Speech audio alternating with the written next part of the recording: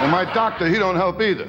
He told me to run five miles a day for two weeks. I called him up. I said, Doc, I'm 70 miles from my house. I'll tell you my trouble. I got the wrong doctor. You know my doctor, Dr. Vinny Boombats. Know my doctor? What a doctor. You kidding me?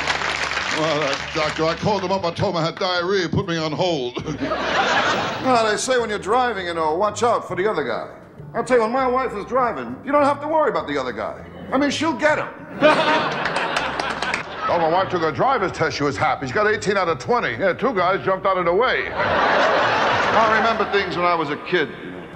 The time I asked my old man where I came from. He told me I was brought by a crow. My old man, he didn't help either. The time I asked my old man, how can I get my kite in the air? He told me to run off a cliff. I'll tell you, when I was a kid, I was ugly too. I told my old man he never took me to the zoo. He said, if they want you, they'll come and get you.